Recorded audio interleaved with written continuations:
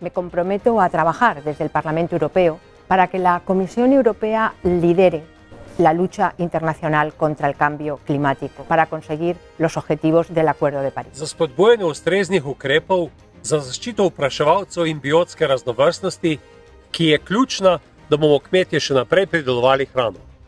incentivar uma alimentação sustentável e saudável e melhorar a educação alimentar.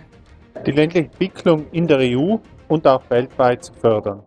Vienlaikus mēs Eiropas Savienībā atkritumos izmetam tik daudz pārtikas, ka tās saražošanai vajag teju vai visu Eiropas Savienības gada budžetu. Situācija ir jāmaina, un mums, deputātiem, ir jāstrādā, lai šo situāciju mainītu.